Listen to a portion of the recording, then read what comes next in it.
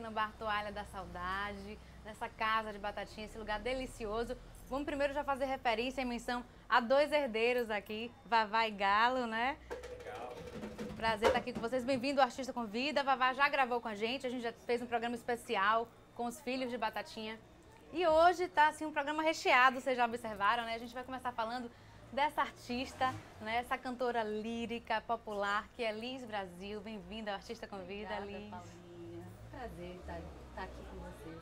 Prazer nosso, mais uma vez, né? Vocês estão lembrados já, né? Figurinha aqui, olha, já do Artista Convida. Liz, a gente gravou com a orquestra, Samba né? Goulart. Popular Samba Goulart. E agora estamos aqui falando mais do projeto, né? Dessa cantora. Que tem outros projetos também, viu, gente? A orquestra é um deles, né? Que Liz vai trazer pra gente hoje dividir aqui no Artista Convida. Então vamos começar falando, né? Na verdade, tanta coisa, tanta mistura, É né? A sua vinda para Salvador, sua passagem, assim, sua carreira em Minas, né? Como é que foi, assim, que você descobriu a música, que você se descobriu cantora? Como é que foi esse início? Bom, eu sempre cantei, né? Mas eu não levava como profissão. Então, o meu marido, meu parceiro de música, de vida, Gustavo Maia, ele foi me envolvendo cada vez mais na música e quando eu vi não tinha mais jeito de sair, né? Eu já estava realmente tomada e a música foi tomando realmente o espaço total da minha vida e o meu foco e a minha direção. Que bom, então, aí, que esse maridão levou para o caminho certo, né? Verdade. Agora, Liz, assim, como é que foi o início? Porque você, né, cantora lírica, assim, você estudou também. Como é que você foi se descobrindo? Assim, lógico que o dom já nasceu com você, com certeza, né? A voz, né, já nasce com a pessoa, essa coisa do dom, da afinidade com a música. Mas como é que você, em que momento você pensou, não, eu quero estudar isso, eu quero seguir, né, eu quero me, me enquadrar, assim, me encaixar nesse segmento? Lógico que depois você foi abarcando outros, né? E aí veio o samba e outros estilos. Mas como é que foi, assim? Como é que você foi definindo nessas linhas?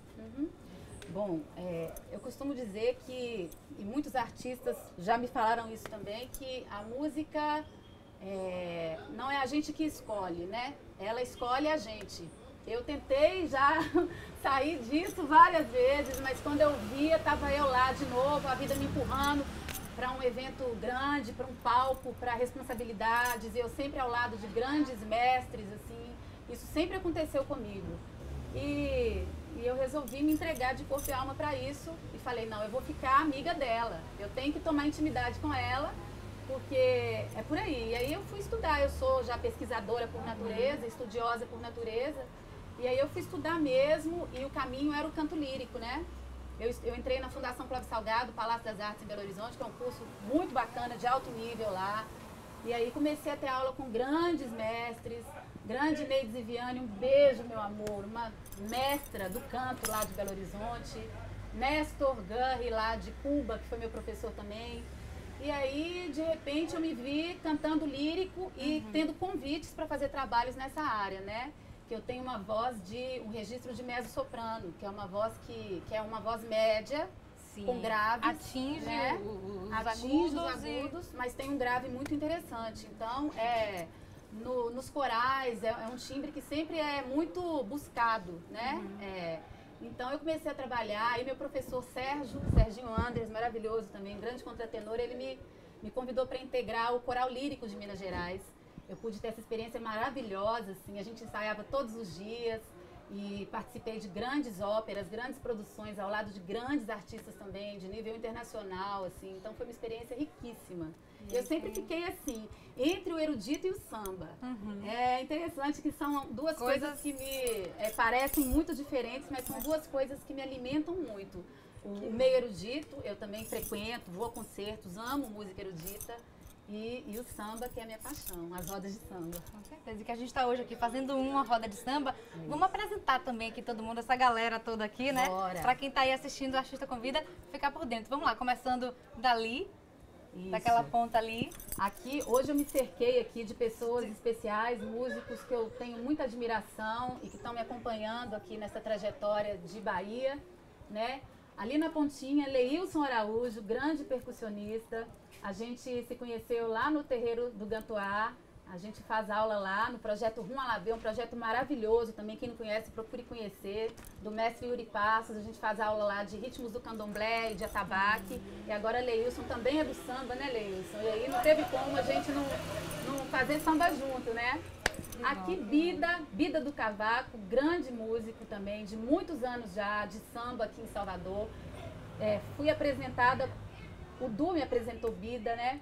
Bida é casado com a grande cantora também, Carla Gentil, Carlinha Gentil, maravilhosa, uma pessoa generosa também que eu tive o prazer de conhecer recentemente, né? Aqui ao meu lado, Du Marques, que é também um mestre aqui, que direciona os nossos trabalhos, ajuda a gente, é quem dá toda a base harmônica aqui pra gente.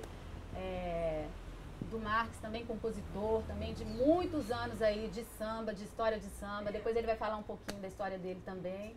Olha aí, cercada só de gente boa, viu? Vocês estão vendo, né? Vamos passar pra cá, então. Vamos lá. Vamos lá. Patrícia Ribeiro, essa parte aqui, ela era frequentadora aqui das rodas de samba do Batatinha, do Samba Golar, frequentadora assídua sempre dando canja com a gente. Eu falei, vamos cantar, mulher.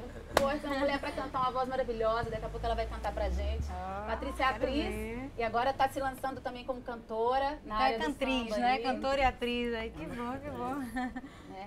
Ali também um, um, tesouro que apareceu aqui nas nossas rodas de samba, Amélia da Cuíca. Grande Amélia também, muitos anos aí de roda de Amélia. samba, de amor ao samba, né, Amélia? Isso. E ali dispensa comentários, né? Aqueles dois ali. Né? Galo Batatinha, Vavá Batatinha, nos dando a honra aqui de compor a nossa roda hoje. Pois é, abrindo aqui as portas, né, da casa de vocês. Não, com certeza. Pois é, a gente estamos bem demais aqui, viu, né, Liz? Nossa, Só de gente senhora. responsa mesmo. Que bom, então vamos, vamos fazer uma música, né? Vamos celebrar esse momento. Vamos lá, o que, é que você vai fazer pra gente aí? Vamos lá. É, eu comecei a pesquisar quando eu cheguei em Salvador, o samba da Bahia, e me apaixonei, me encantei, e agora eu só quero cantar samba da Bahia. É um problema sério, entendeu? E aí a gente abriu aqui fazendo Aguagô de Batatinha, né? E agora a gente vai fazer uma música de Rock Ferreira, parceria com Mariene e J. Veloso. Abre caminho. Bora lá. Só maior.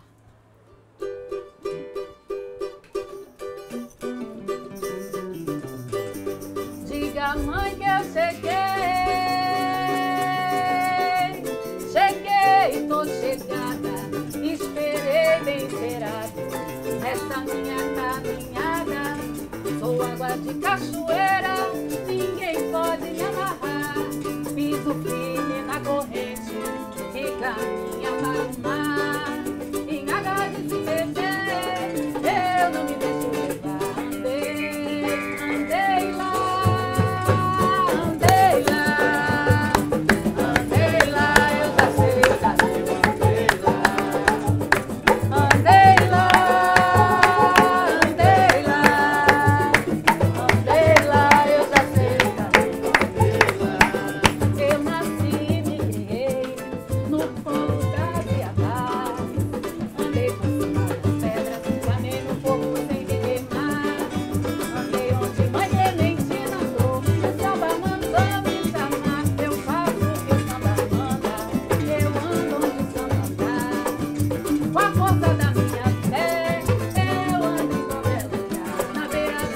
Thank you.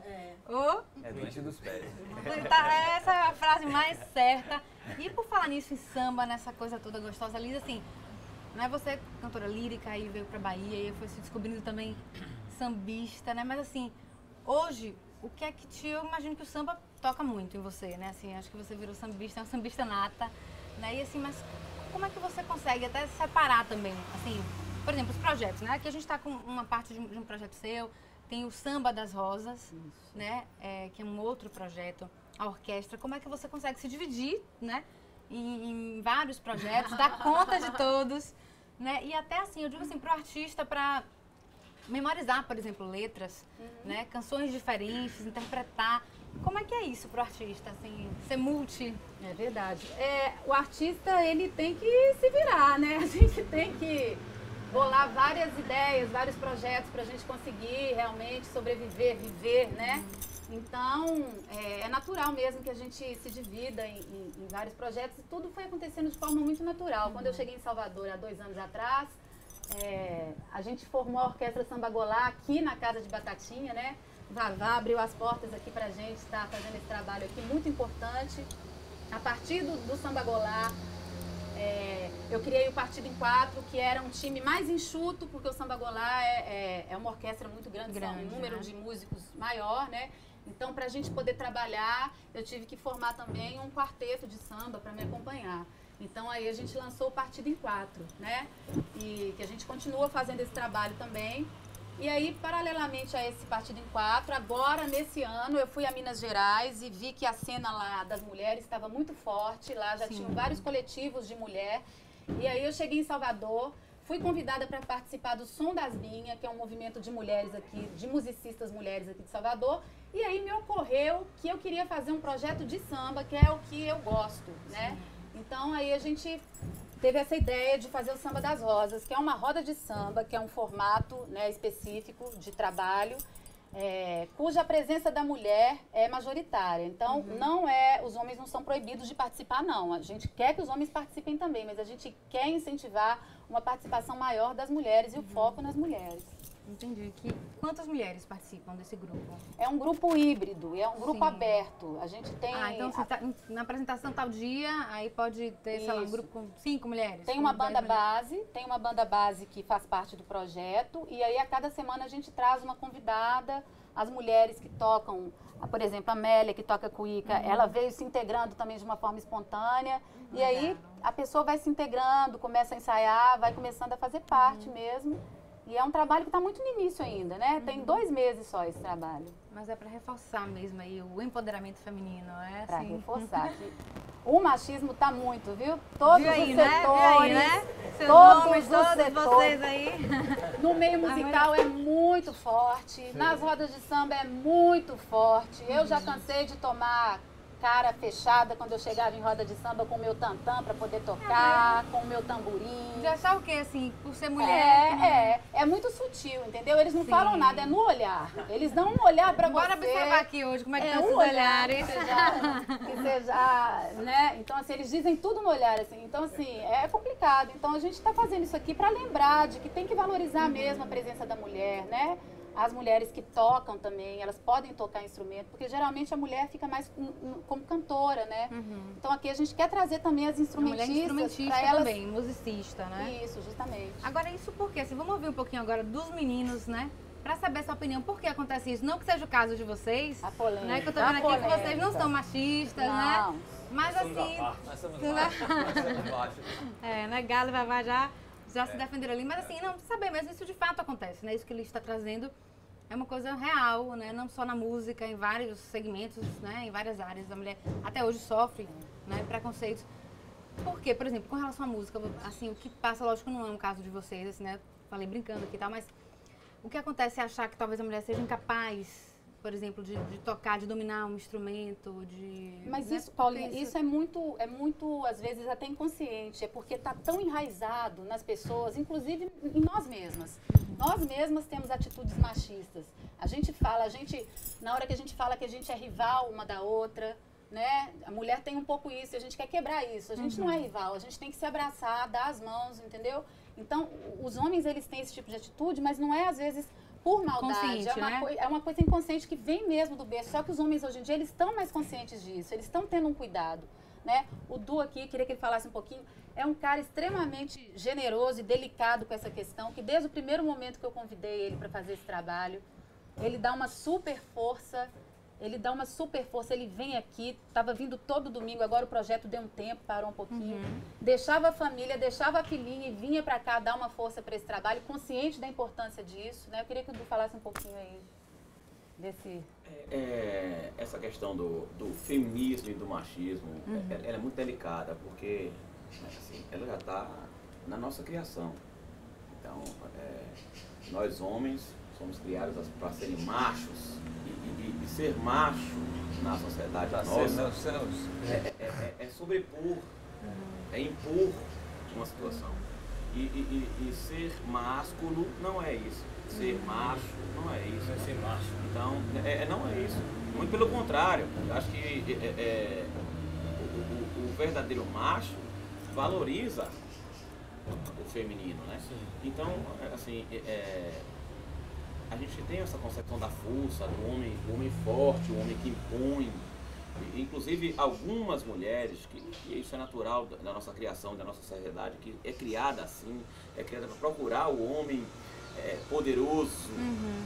o homem que se impõe, né? Então tudo isso sustenta essa situação que a gente está falando aqui e de, de, mulheres que infelizmente às vezes é, é apanham e, e, é e, e são é, oprimidas dentro de casa e que para elas saírem e, e, abrir esse tipo de situação, falar desse tipo de situação, é, é, é, se sentem envergonhadas, porque a sociedade aceita o homem másculo, aquele poderoso. Uhum. Então, é, é quando ela me chamou para o projeto, eu achei fundamental, é, como homem feminista que sou. Muito bem. Gostei dessa, viu? E, e, e, tenho filha, tenho, sou casado e tenho uma filha. E, e, e não enxergo e não aceito minha filha daqui, tem três anos, daqui a 15 anos, passando por esse tipo de situação. Acho uhum. que essa cidade tem que evoluir. Então, eu não posso esperar minha filha crescer, né? É verdade, muito bem, Du. Apoiadíssimo. Dá então, vamos... minha, minha contribuição agora, para ver se daqui a 15 anos eu não, po é não precise é passar por isso, nem ela, né? É verdade. Vamos então de mais música, né? Para celebrar essa conversa tão bonita, né? Esses, esses homens feministas que aqui estão.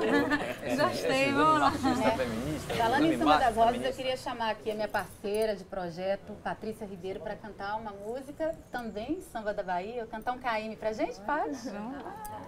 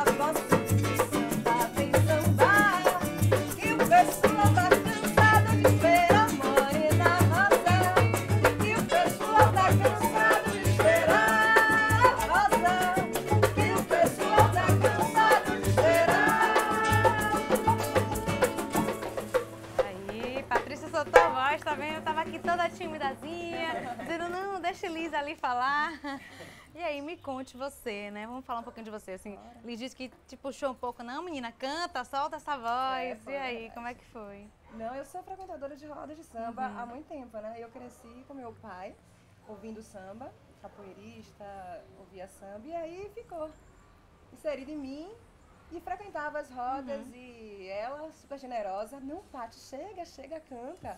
Eu tá aí os pouquinhos. E esse ano ela me chamou pro projeto uhum. e eu amei, abracei, assim, meu coração. Estou apaixonada.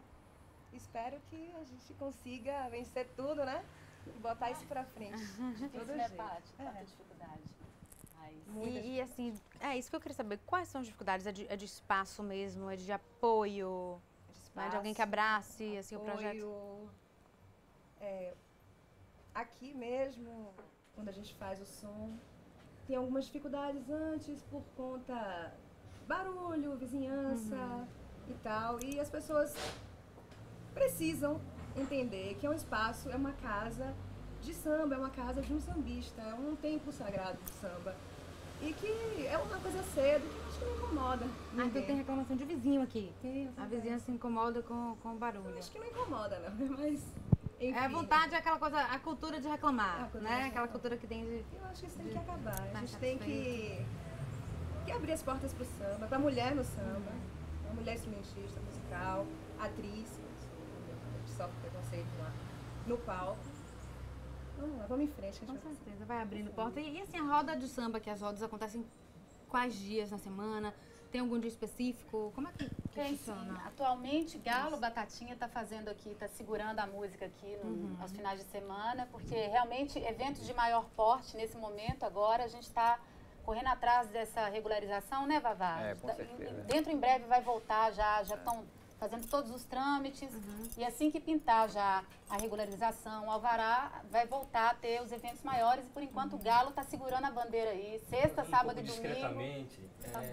só, não ficar e essa coisa de regularizar, é, no caso, para voltar a funcionar mesmo assim. E, e, como também um espaço comercial, é como uma casa para receber pessoas, enfim para essa parte também de. É, a de questão como, de alvará. Um bar né? mesmo, de Porque restaurante, gente, tendo samba. Tendo seria... samba, tendo samba. Sim. Porque nós recebemos uma notificação da SUCOM Sim. e a gente não tinha documentação que eles exigiam, né?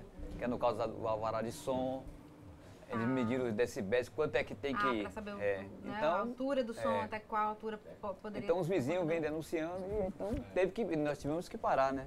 Para poder regulamentar, né? Então hoje nós estamos fazendo só acústico na mesa para não ficar sem som a casa, né? Entendi. Que de qualquer e aí vai bora, ter, já tem uma nova fiscalização agendada, assim, para a SUCOM vai voltar aqui, ficou A SUCOM já é voltou, é por sinal, na semana passada eles voltaram aqui sem, sem ter música, chegaram Sim. aqui com sete viaturas. Quatro viaturas da Guarda Municipal, o COI, uma Kombi, teve uma Kombi e teve mais um. a, a própria Sucom, né? E a gente não estava tendo som. Eles, eles já falaram que era um trabalho de rotina na área. Por sinal, tem uma bote ali que, é, que faz som também. E aí a gente mostrou a papelada, o alvará daqui estava vencido, mas eles pediu que a gente regulamentasse o alvará. Batatinha e por enquanto triste, o, a gente não poderia fazer som, né? muito triste com isso. Não poderia fazer som. E a gente não está fazendo som, né? A gente só está fazendo aqui brincadeira no final de semana na mesa. Acústica na mesa. É, na né? mesa. Para não botar o aparelho, não chegar aqui, queria montar ou levar, né? Como acontece, né? Então a gente preferiu que. Não é que a gente queria parar o som, que às vezes o pessoal não, porque vocês pararam. Não, não parou o som, não. Teve uma intervenção. E aí nós temos que dar continuidade para poder a coisa ah, mas vai dar tudo certo. Vai dar já tudo já certo. Já vai Savará né, prontinho, é? em mãos, certinho, né? É. Até porque, porque o som, liberta, é, o som daqui gente, realmente então... não, é um, não é um som... A gente não faz um som aqui zoada, não faz aqui. Hum, tá? É música de é qualidade, é, né, Tanto é que Liz, as meninas, elas que frequentavam aqui, já viam o som aqui é tranquilo. Mas tem vizinhos que não... Tem pessoas aqui que me dizem que, que, que, que dormir com esse som é ótimo, mas tem outros que já não... Que já não gostam. É. Tudo bem. Então, Galo, podia cantar uma pra gente, hein, Paulinho? Por falar nisso? Poxa, vai ser uma honra. Hein, Galo? Vamos lá, Galo. Cantar uma pra gente? Nos dê esse prazer de ouvir sua voz cantando também, não só conversando. Vamos lá. É proibido sonhar, então me deixe o direito de sambar. É proibido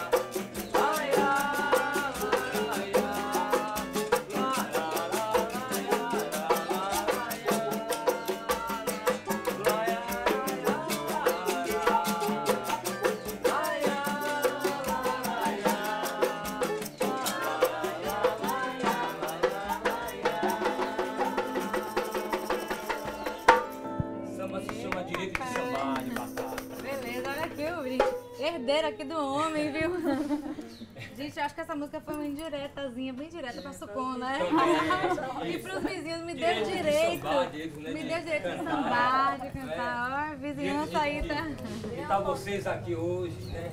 Então. Pois é, de confraternizar, né? De ter esses momentos como a roda de samba, gente. Música liberta, música é isso, nada de proibir, né? Verdade, Flor. Pois é. É. Feliz, assim, com tanto, né? A gente aqui com esses meninos todos reunidos, assim, com vários projetos reunidos.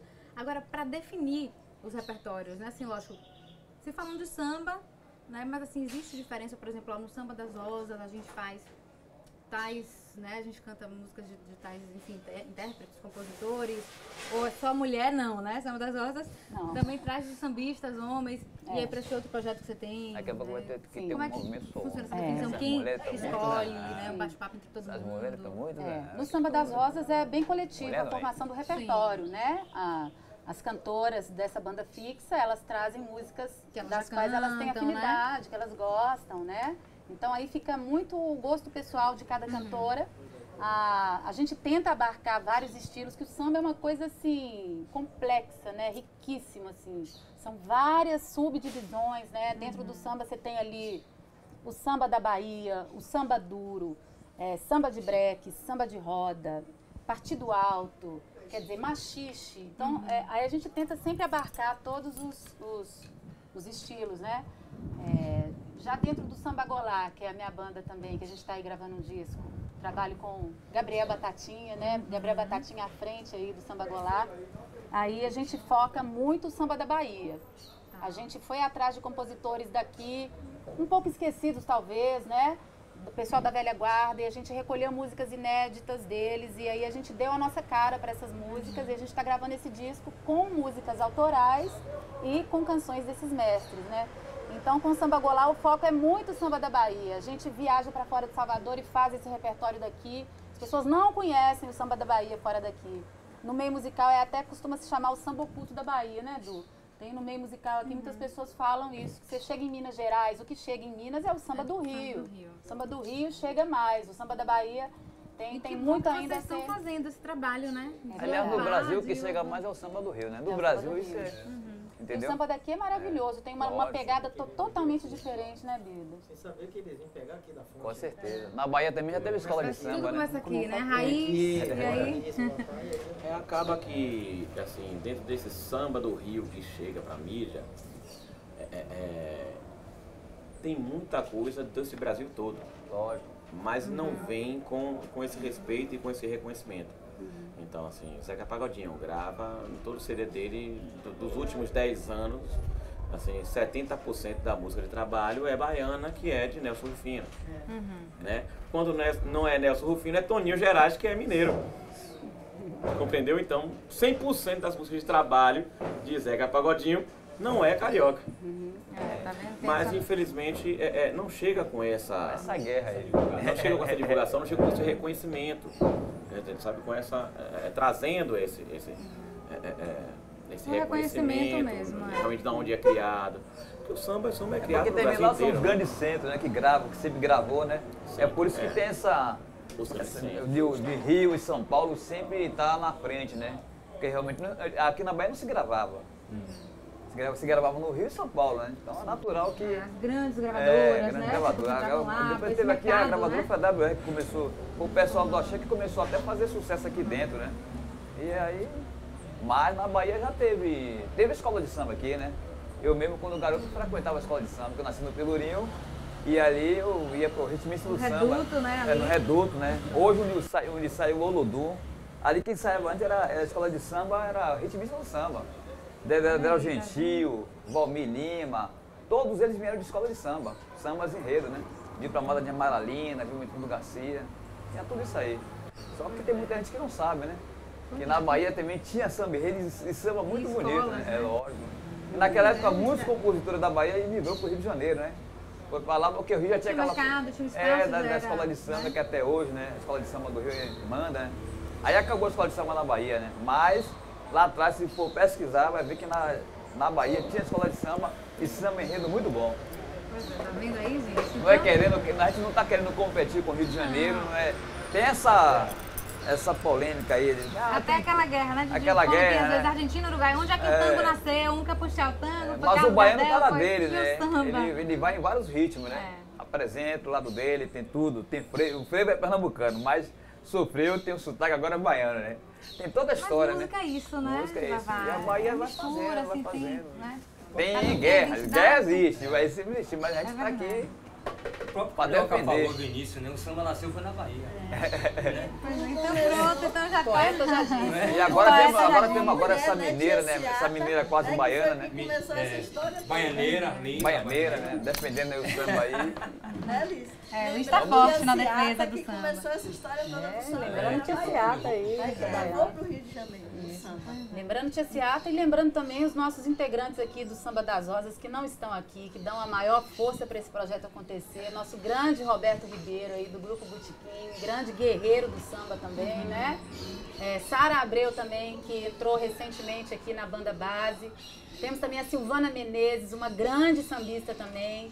Pretinha, é, Pretinha da Luz, Pretinha da Bahia, ela tem dois codinomes, ela está ainda definindo qual que ela quer. São é, mulheres que a gente conseguiu agregar, é um projeto muito rico porque a gente conseguiu atrair é, muitas mulheres interessantíssimas que às vezes estavam sem mercado de trabalho e aqui a E gente agora traz achou esse elas espaço, pra- né? Isso abre o espaço, o Samba das Rosas, né? Justo, abre espaço para mostrarem trabalho. Que bom, Liz. Olha, a gente está se despedindo, gente. Infelizmente, não é muito bom conversar com vocês. Eu queria só, Liz, que você dissesse onde é que as pessoas podem acompanhar a sua agenda, né, assim, de Liz Brasil, a agenda dos projetos também, né, da orquestra, do Samba das Rosas. Bom, é, eu tenho o meu Facebook, Liz Brasil, quem quiser pode me adicionar lá, que lá eu estou sempre passando a agenda de shows aí. Temos também a página do Samba das Rosas, coletivo feminino de samba. Convido a todos para darem, fortalecer essa corrente, fortalecer, valorizar a musicista, valorizar a sambista, né? E tem também Samba Golá, Orquestra Popular. Todos têm página no Facebook. Vocês me encontram em qualquer desses canais aí. A gente está sempre por aí pelas casas, fazendo música boa, fazendo muito samba aí para vocês. Maravilha, gente. Muito obrigada, Liz. Prazer Adoramos. ter você de saudinha. novo aqui no Artista. Convida. Meninos, obrigada. Prazer com você, vocês. E o sucesso, Patrícia também, né? Se joga, já se jogou, já tá aí, né? Filhos de Batatinha, prazer mais uma vez, viu? Estamos aqui com a porta aberta para receber os sambistas antigos e os novos, né? Não, chegando aí, uma galera boa chegando Vamos, também, quero né, mais-? E as musicistas também. É. Atriz, tudo, tudo, As tudo, que é ligado à arte. machismo, né? Não, não, não tem machismo, não. Pois é, obrigada, gente. Obrigada a vocês que têm nos acompanhado sempre. Lembrando que a gente está pelo canal 61.2 e também 4.4, viu, em Barreiras. Um beijão, gente. Olha as nossas redes sociais, viu? Instagram, Facebook, tudo aí pra você ficar ligadinho no canal Assembleia e no Artista Convida. Beijo grande, até a próxima e lógico, vamos terminar com samba. Vamos lá. Vamos terminar fazendo o grande sambista da Bahia, Ederaldo Gentil, Alô Madrugada. E ela começa assim. Alô Madrugada, onde anda o meu amor? Saiu bem cedo e disse logo vou voltar.